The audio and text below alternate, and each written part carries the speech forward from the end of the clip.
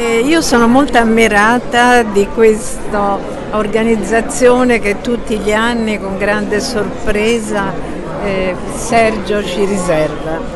Ogni volta poi è più bella, quest'anno addirittura queste uova sono opere d'arte, sculture e io penso che fa molto piacere perché chi è che non deve fare un dono a Natale e approfittare di questo momento e, e poi unisce anche una cosa buona e meritevole perché oggi qualsiasi cosa bisogna pensare anche alla solidarietà.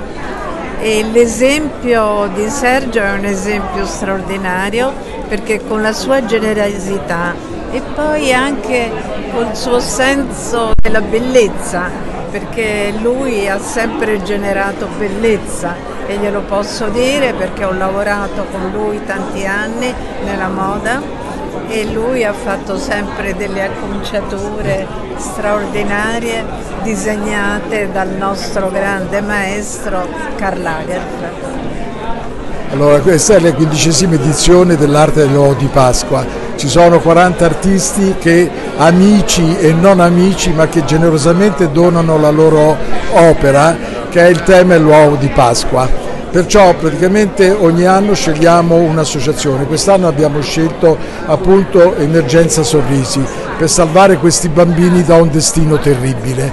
Noi siamo qui, ci siamo stati accolti in questo bellissimo circolo, io confido sempre in Anna Fendi perché la posso considerare una mia sorella, al di là che so che mi vuole molto bene e fa tutte le cose con il suo grande cuore.